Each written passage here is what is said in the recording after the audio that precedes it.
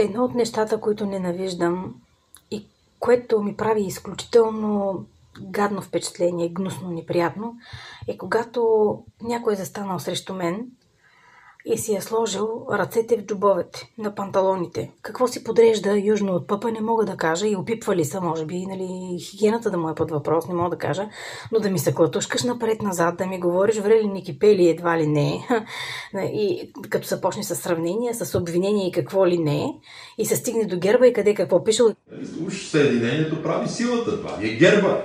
Това е герба и как имал не знам си колко си процента за разлика от останалите и почти през цялото време той човек беше с ръце в джобовете и се поклащаше напред-назад. Той човек Абсолютно съм сигурна, има някаква форма на психосоматично разстройство, но той е и отвратителен дебил, той е абсолютен мутраген. Колко били е, кадърни, какви, за какви експерти ми говориш бе, Герб? Какви експерти? Освен това, те до последно добре, че имат пари да купуват гласовете на мангалите. Нали работя в община. Аз много добре знам, като правим търгове, какви права имат циганите и какви права имат българите и как най-редовно правим разсрочено плащане на м***лите. Ние ги караме, каним ги да, да дадат да си купят незаконното строителство да си купят. А българите са по съвсем други тарифи. Какво ми приказваш на мен? И бил спечелил 20 няколко процента. Спечелил си, на най-ти си спечелил. И има наглостта да ги приказва тия неща. Съдържи като мъж на сух режим. Се едно ходи да се моли на някой да му пусне. Тъпанар.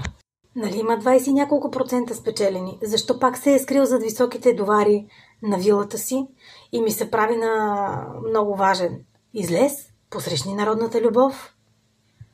Още тази вечер е имало страшно много хора пред централата на ГЕРБ в София и са скандирали оставка. Като ми приказваш такива велики работи, излез, кажи го, Що ми държиш речи ми се правиш на интересни и ми се клатиш като патка, при положение, че толкова много те обичат и така. Честно си си спечелил ти изборите, от кого се криеш? Що всеки път трябва да се скрие зад някоя орхидея, зад някоя магнолия или там и да ми прави някакви изпълнения. Излез вечно в рамките на стените на вилата си някъде в двора.